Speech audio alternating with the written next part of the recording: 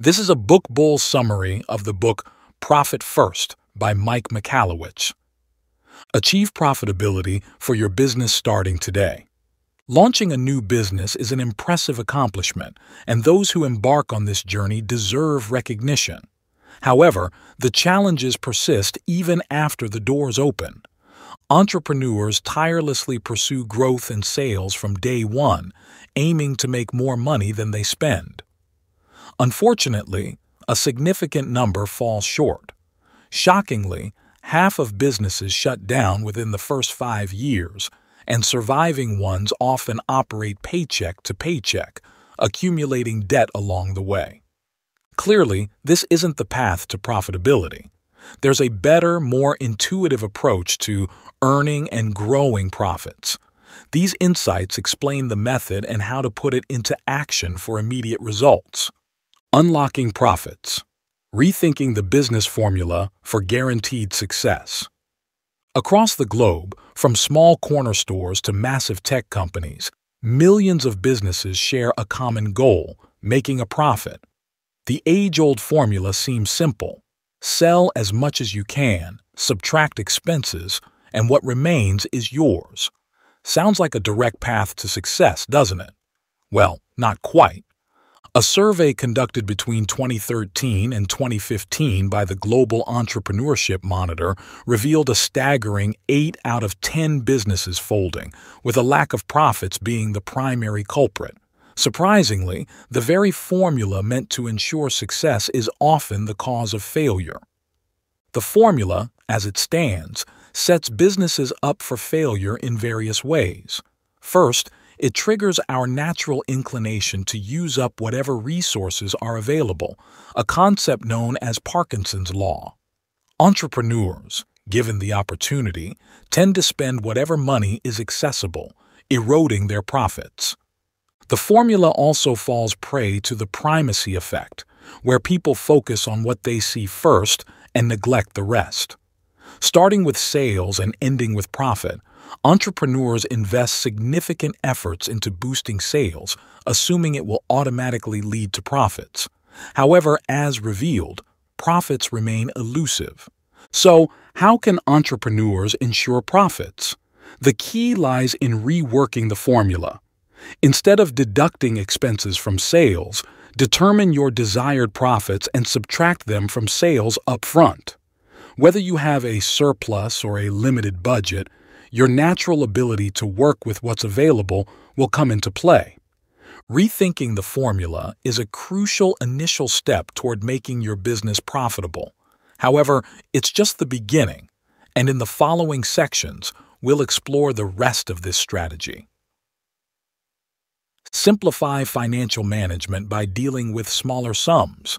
If you've ever tried to shed some pounds, you're likely familiar with the trick of using smaller plates to consume fewer calories.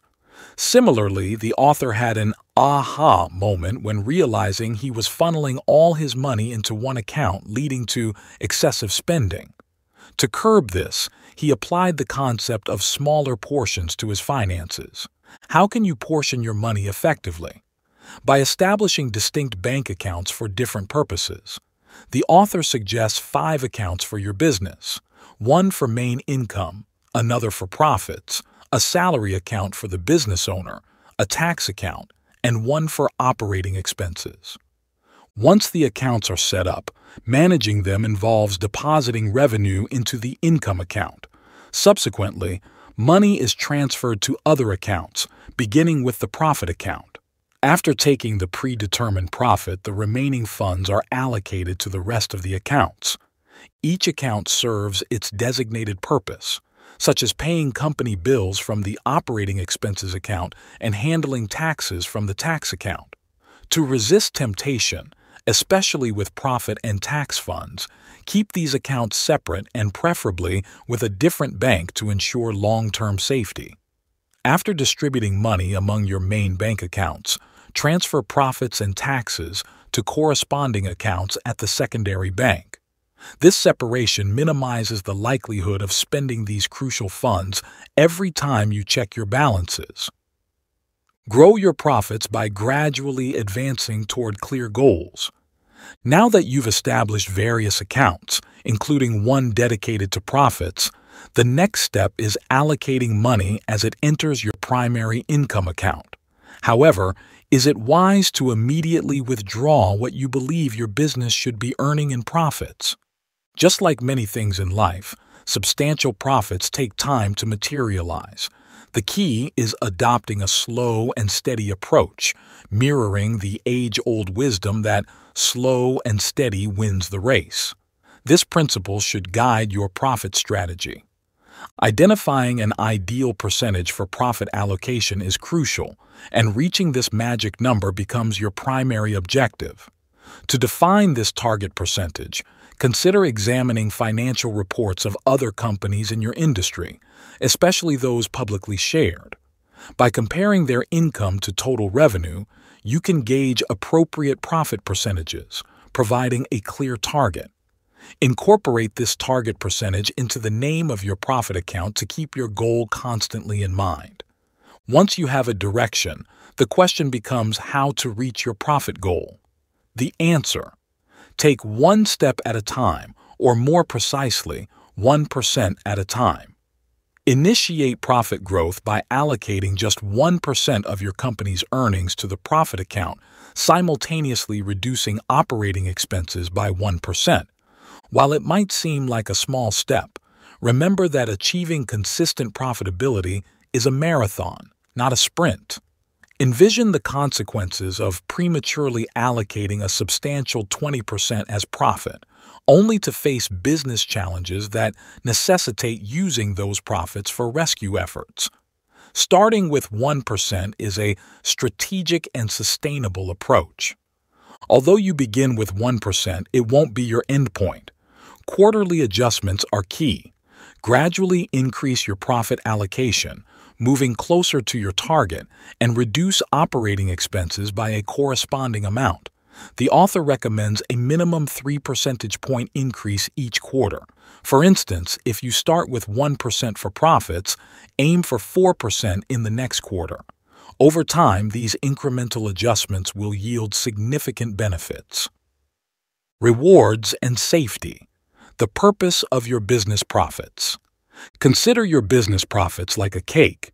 You work hard to bake it, watch it grow, but what if you never got to enjoy a slice? Treating your profits this way isn't the solution. Just as you wouldn't devour an entire cake at once, resist the temptation to use your profits haphazardly. Instead, adopt a disciplined approach. Take your profits at the end of every quarter, akin to the practice of large public company shareholders. Anticipate and savor these profits, but refrain from splurging or relying on them for personal support. Allocate 50% of your profits for personal enjoyment. Reward yourself or your family. The remaining 50% serves as an emergency fund for your business, continually fueled by your profits. Over time, as you increase your profit percentage, something remarkable happens you'll discover that the 50% retained covers business costs for more than three months. This marks the moment when you can reinvest funds back into your business. Take the excess money, ensuring a three-month safety net remains, and strategize on how best to fuel your business's growth. Celebrate this achievement, but recognize it's not the end.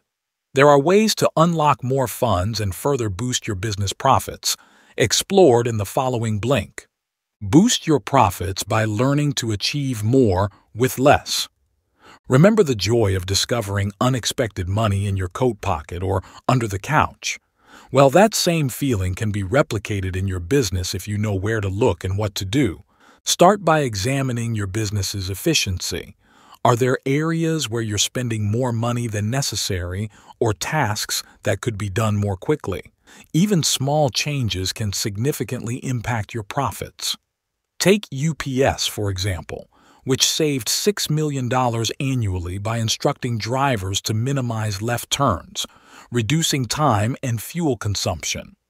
Once you've streamlined your business operations, shift your focus to your customers. If their needs vary widely, you might be spending unnecessary time and money catering to each one individually. However, if you identify a common need among your customers, you can enhance efficiency by delivering that one thing quickly, flawlessly, and at a lower cost. Specialize in what your company does best, improve on it, and market yourself to clients seeking those services. The money you save will propel you toward your profit goals even faster. Achieving business profitability, managing debt without hindrance. For business owners, the saying, it takes money to make money, hits home, recognizing the substantial investment needed to establish and grow a company. Often, entrepreneurs resort to loans, credit cards, or borrowing from friends and family to fund their ventures, resulting in accumulating debt that overshadows the goal of turning a profit. But there's a better way. No matter how deep your debt, allocating a portion of your business income to a profits account is key. By simultaneously paying off debts and building cash reserves, you ensure future expenses are covered. Worried about finding the funds to clear debt? Look to your bank account. Dedicate 99% of your quarterly profits to debt payments, reserving 1% for yourself. While parting with a significant sum may be tough, this approach speeds up the journey to becoming debt free. Paying off debts is only half the battle. Strategic management matters too. List debts from smallest to largest, or, if amounts are equal, prioritize the one with the highest interest rate. Make minimum payments on all debts except the smallest one, directing the rest of your funds toward it. Once paid off, add the freed up money to the next debt on your list. Follow this method, and soon your debts will be a thing of the past, leaving you with more profits to enjoy. Attaining financial freedom. Apply the Profit First system to your personal life. Imagine never having to worry about money again, living in your dream home, taking holidays whenever you desire, and having the peace of mind to cover any unexpected expenses. You can turn this vision into reality using the profit boosting tactics you've just learned. Just as your business manages different accounts for various purposes, apply a similar approach to your personal finances. Create accounts for income, day to day expenses, recurring payments, retirement funds, and emergencies. Allocate a percentage of your income immediately to your retirement account, prioritizing it over other accounts. If debt is a concern, treat it as you would in your business. Use a significant portion of the allocated money for debt payments, with a small percentage retained in the retirement fund. Once the debt is cleared, refocus on growing your nest egg. As your savings grow, resist the temptation to increase your lifestyle. To achieve financial freedom, consistently save as much as possible. Maintain your current lifestyle for at least five years, keeping costs low by researching purchases, exploring cheaper or free alternatives, and honing negotiation skills. While being frugal may seem less fun, you can still enjoy your money and save. When your income increases, invest only half in your lifestyle and allocate the rest to your retirement fund.